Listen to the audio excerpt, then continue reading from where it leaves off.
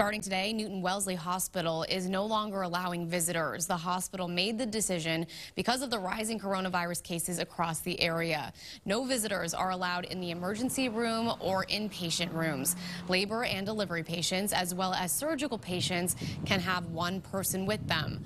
All visitors must be at least 18 years old and will go through a health screening.